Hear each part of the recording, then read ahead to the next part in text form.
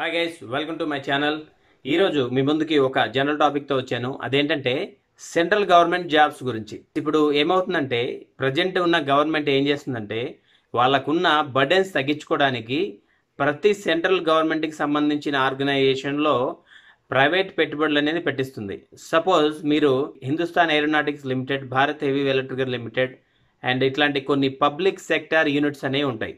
Public sector units అంటే forty nine percentage private ఉంటుంది fifty one percentage government shares ఉంటాయి. So వాటిని direct privatisation చేస్తుంది. లైక్ ఎన్టీపీసీ బిహెచ్ఈఎల్ హెచ్ఏఎల్ ఇట్లాంటి వాటికి మీద ఖచ్చితంగా ప్రైవేటైజేషన్ చేస్తుంది. అంటే ఫిఫ్టీ వన్ కంటే ఎక్కువ ఉంటే వాళ్ళంతా ప్రైవేటైజ్ అవుతుంది అన్నట్టు. అట్లాంటి పరిస్థితి వాళ్ళకి వచ్చింది ఇప్పుడు మీరు రీసెంట్గా కొన్ని పరిణామాలు తీసుకున్నట్లయితే హెచ్ఏఎల్లో ఈ జాబర్స్కి శాలరీస్ సరిగ్గా పే చేయలేక చాలా సతమతం అవుతుంది బట్ ఇప్పుడు మాకు అర్థం కాని విషయం ఏంటంటే మనకి ఎన్టీపీసీ అండ్ బిహెచ్ఎల్ వాళ్ళకి ఆల్రెడీ ప్రాఫిట్స్లో ఉన్నారు. బట్ వాళ్ళని కూడా కంప్లీట్గా ప్రైవేటైజేషన్ చేస్తుంది అన్నట్టు. సో ఎందుకు చేస్తుంది అనేది అంటే వాళ్ళకున్న బర్డెన్ తగ్గించుకోవడం. ఇంకా ముఖ్యంగా మీరు రీసెంట్గా తీసుకున్నట్లయితే మెయిన్గా బిఎస్ఎన్ఎల్. బిఎస్ఎన్ఎల్ వచ్చేసి నెట్వర్క్ ఒకప్పుడు చాలా ఆఫర్స్ ఉండేవి చాలా మంచిగా ఉండేది.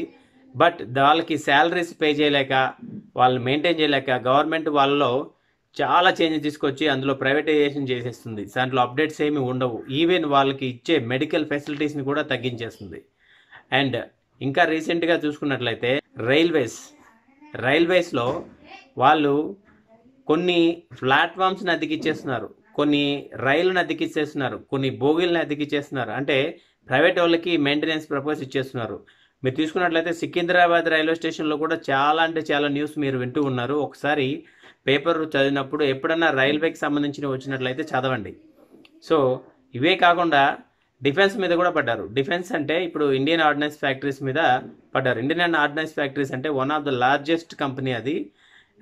ఆయుధాలు తయారు చేసే ఫ్యాక్టరీస్ అన్నట్టు. ఫార్టీ వన్ ఫ్యాక్టరీస్ ఉన్నాయి ప్లస్ ఒక బోర్డు ఉంది. ప్లస్ వాళ్ళకి లెర్నింగ్ ఇన్స్టిట్యూట్స్ ఉన్నాయి. అంటే వాళ్ళకి ట్రైనింగ్ ఇన్స్టిట్యూట్స్ ఉన్నాయి. కొన్ని హెడ్ క్వార్టర్స్ కూడా ఉన్నాయి. అంటే వీళ్ళు ప్యూర్ గవర్నమెంట్ అది ఆర్డినెన్స్ ఫ్యాక్టరీస్ సో దాన్ని పబ్లిక్ సెక్టర్ చేస్తుంది ఒక ఫైవ్ ఇయర్స్ వరకు. దాని ద్వారా దాని ఫైవ్ ఇయర్స్ తర్వాత మళ్ళీ ప్రైవేటైజ్ చేయడానికి వాళ్ళు ప్లాన్లో ఉన్నారు.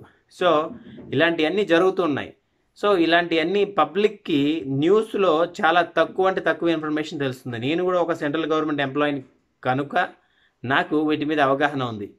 బట్ ఎవరైతే ఎంప్లాయ్మెంట్ చేస్తున్నారో సెంట్రల్ గవర్నమెంట్ జాబ్స్లో ప్రొడక్షన్ ముఖ్యంగా ప్రొడక్షన్ యూనిట్స్లో చేస్తున్నారో వాళ్ళకి మాత్రం భయంకరమైన భయాలు ఉన్నాయి.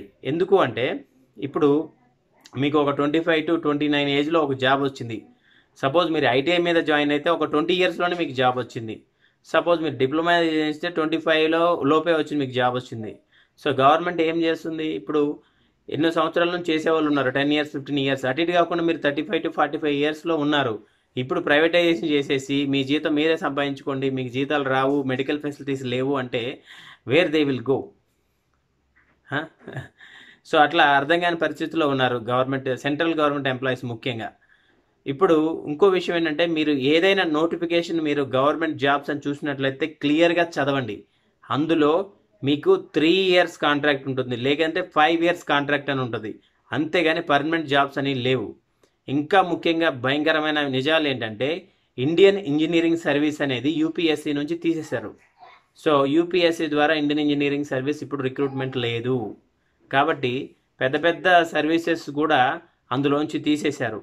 సో అవి అసలు కండక్ట్ చేస్తారో లేదో తెలియదు సో ప్రతి ఇంజనీర్కి ఒక ఐఏఎస్ అనేది ఒక కళ ఉంటుంది. Not IAS Indian engineering services so Indian engineering service మంచి మంచి సెంట్రల్ గవర్నమెంట్ ఆర్గనైజేషన్లో జాబ్ చేయొచ్చు అనే ఉద్దేశంతో ఉండేవాళ్ళు. ఇప్పుడు ఆ హోప్ మొత్తం పోయింది. సో అసలు కండక్ట్ చేస్తారో లేదో తెలియదు అసలు జాబ్స్ రిలీజ్ చేస్తారో లేదో ఆ బేస్ మీద. కాబట్టి గైస్ ఎవరైనా సరే సెంట్రల్ గవర్నమెంట్ జాబ్ కొట్టాలి నేను గవర్నమెంట్ జాబ్ కొట్టాలి అంటే వచ్చే ఫ్యూచర్లో జాబ్స్ గవర్నమెంట్ అనే ఏమి ఉండవు. ఇప్పుడున్న గవర్నమెంట్ గవర్నమెంట్ జాబ్స్ మొత్తం తీసేస్తుంది. ఒక స్టేట్ గవర్నమెంట్లో మాత్రం మీకు ఉండే ఛాన్సెస్ ఉన్నాయి. కాబట్టి మీరు మెంటల్గా ప్రిపేర్ అవ్వండి. ప్రైవేట్ ఆర్గనైజేషన్లో లేదంటే ఒక కార్పొరేట్ స్ట్రక్చర్లో మీరు పనిచేస్తారు అనే మెంటాలిటీతో ప్రిపేర్ అవ్వండి. ఆ జాబ్ ఉన్న రోజులు హ్యాపీగా ఉంటారు. జాబ్ లేనప్పుడు ఇంకో జాబ్ ఎత్తుకోగలుగుతారు. సో ఆ విధంగా ఉండండి. గవర్నమెంట్ జాబ్ కొట్టేసి సెటిల్ అయిపోదాం. తర్వాత ఎంజాయ్ చేయొచ్చు లైఫ్ అనుకుంటే there is no chance in future guys so ప్రతి ఒక్కరికి గవర్నమెంట్ జాబ్ అనేది ఒక కళ ఉంటుంది. ప్రతి ఒక్కరు వాళ్ళకున్న టైం పీరియడ్లో ఏజ్ పీరియడ్లో ఖచ్చితంగా ట్రై చేస్తారు. So try your best but అది three years five years contract అయితే ఖచ్చితంగా చేయొద్దు. ఎందుకంటే ఆ తర్వాత మీరు ఏం చేయాలో మీకే అర్థం కాదు. ఓకే? అదే ఒక కార్పొరేట్ స్ట్రక్చర్లో మీరు జాయిన్ అయ్యి అందులో ఒక మంచి పొజిషన్లోకి వెళ్ళి లేదంటే అందులో జాయిన్ అయ్యి మీరు కష్టం చూపించినట్లయితే మీకున్న స్కిల్స్కి మీకున్న నాలెడ్జ్కి వాళ్ళే పైకి పైకి పంపిస్తారు. అంటే మంచి మంచి పొజిషన్స్ ఇస్తారు. So somewhere also you can work in foreign also you can earn very lot in short period of time గవర్నమెంట్లో ప్రతి సంవత్సరం త్రీ పర్సెంట్ ఇంక్రిమెంట్ వస్తుంది. అంటే వెరీ వెరీ లెస్ నేను ఒక గవర్నమెంట్ ఆర్గనైజేషన్లో సెవెన్ ఇయర్స్ నుంచి చేస్తున్నాను.